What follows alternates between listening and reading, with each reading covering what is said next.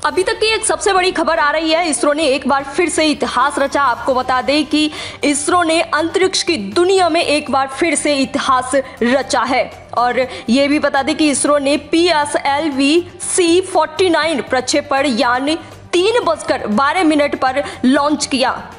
आपको फिर से बताते हैं कि अंतरिक्ष की दुनिया में इसरो ने फिर से एक बार इतिहास रचा है। जी, बिल्कुल, एक बार फिर से अंतरिक्ष की दुनिया में इसरो ने इतिहास रचा है और आपको ये भी बता दें कि इसी के साथ ही सभी उपग्रहों को लॉन्च करने का काउंटडाउन शुक्रवार को शुरू हो गया।